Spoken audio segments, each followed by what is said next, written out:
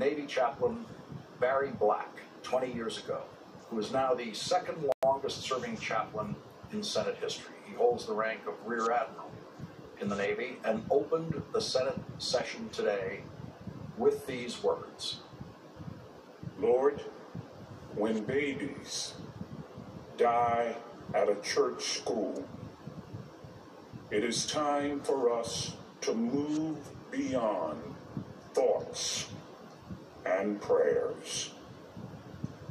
Remind our lawmakers of the words of the British statesman Edmund Burke.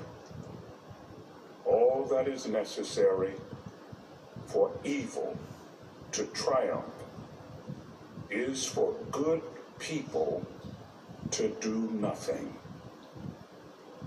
Lord, deliver our senators from the paralysis of analysis that waits for the miraculous.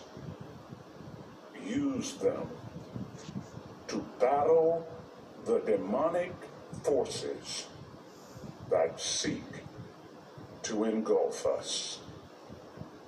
We pray in your powerful name.